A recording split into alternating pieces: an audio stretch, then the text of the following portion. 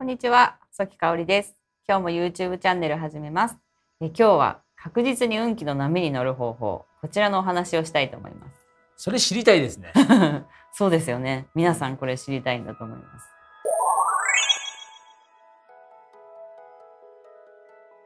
で、あの、これをお話しする前に、私、あの、8月の21日に、あの、毎年出してるこの六星戦術の本がまた発売されます。えそちらのね、説明も今日したいと思います。あ、新しいの出たんですね。そうなんですよ。こちらが2021年度版の新しい本が出来上がってきました。今年はね、六星戦術を編み出して40周年になりますので、カラフルにあの皆さんにも元気をね、与えるような色を選んで作ってみました。で、こちらはですね、あの、書店であの2冊以上お買い上げになった人にプレゼント細いあのクリアファイルなんですけれどもあのここにあのマスクとか入れていただいてもいいですしですからこれはあの全部ねあの6星のオリジナルのロゴが入ってますのでこちらのフクリアファイルは書店でえー2冊以上お買い上げになった人、まあ、そのあのどこの書店に置いてるかっていうのはまたあの概要欄の方にあの載せておきたいなと思います。全部の書店じゃなくって、置いてある書店と置いてない書店があるのはいですね。なんかね450から500ぐらいの店舗あるらしいんですけど、あのそのどこの店舗かっていうのは概要欄の方に載せたいなと思います。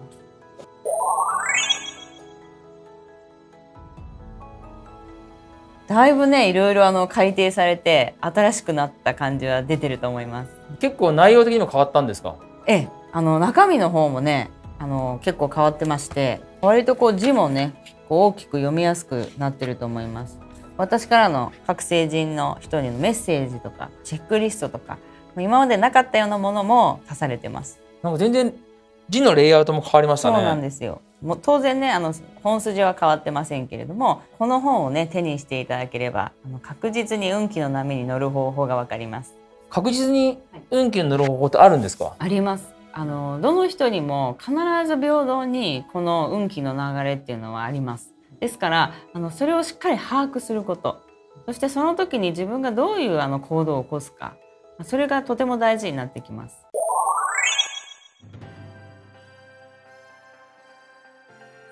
例えばじゃあ僕の金星人で言うと、はい、確実に運気に乗る方法がその本に書いてあるわけですか？はい、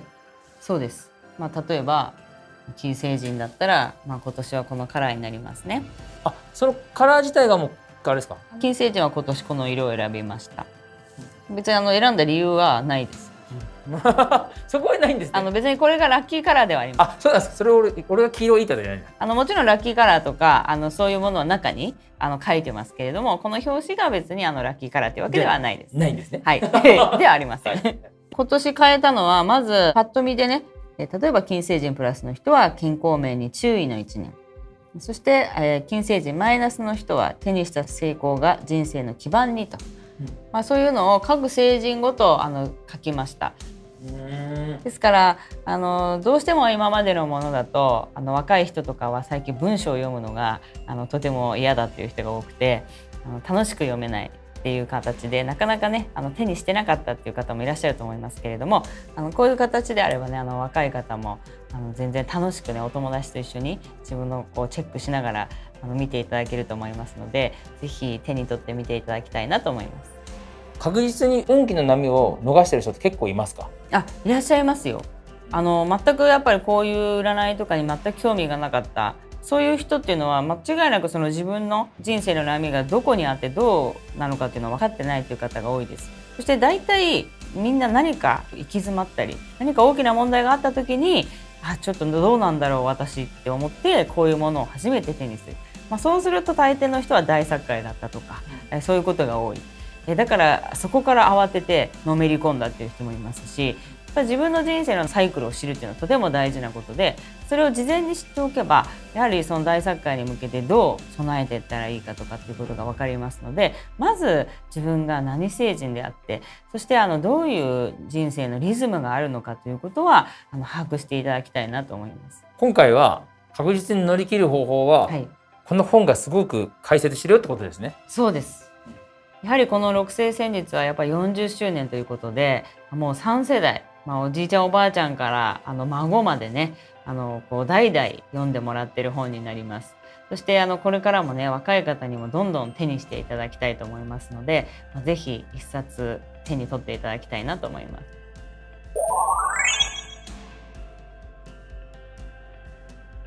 やはりね一からいろいろ見直してあの皆さんがいかに読みやすくこう見やすく手にしやすくというところを考えながら構成考えながら作っていったのが一番時間かかりましたね。もちろん大元本筋は変わってないんだけどそれをいかに今の人たちにこう伝わるようにあの表現していくっていうのはとても大変でしたね。うん、ですからあの全てを見直して変えたという形になりますのであのぜひね私としても一生懸命時間をかけてあの作った本ですから、まあ、多くの人に手にしていただきたいなと思います。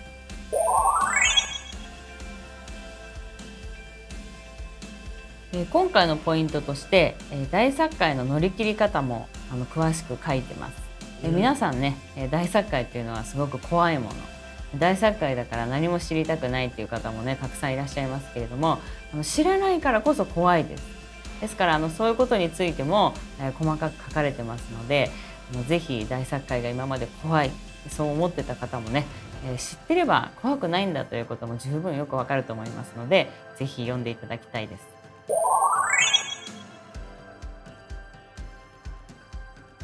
えーと、金運と恋愛運の部分のボリュームもアップしてます。でまあ、金運もどうしたら金運をつかめるかとかまた恋愛運も既婚者の人、まあ、恋愛中の人、まあ、独身の人と、まあ、こう分けてあのそういう人たち向けに分けてあの書いてありますので今までよりもこう見やすくて分かりやすいんじゃないかと思います。ね、金運と恋愛ってすごい興味ありますもんね。そうですね。占いが好きな方はね、まずここが一番気になるところだと思います。まあ、そういうボリュームもね、あの昨年に比べて大幅にボリュームアップしてますので、あのとても分かりやすいんじゃないかなと思います。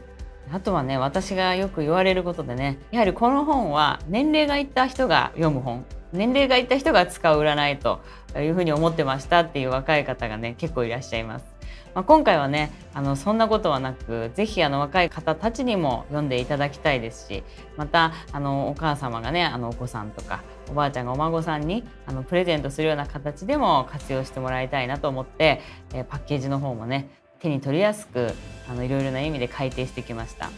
そしてあの占いっていうのはやはりあの若い時から自分の人生のリズムを知るということはどれだけ先の人生において得するかそしてあの有意義にあの楽しく幸せに生きられるかということにもつながりますのでぜひ若い方々にも手に取って読んでいただきたいなと思います。でそして、えっと、書店だけでなくねあのコンビニでも買うことができます。えまず最初にセブンイレブンさんから発売される予定です。えぜひ立ち寄った際にはあの手に取っていただきたいと思います。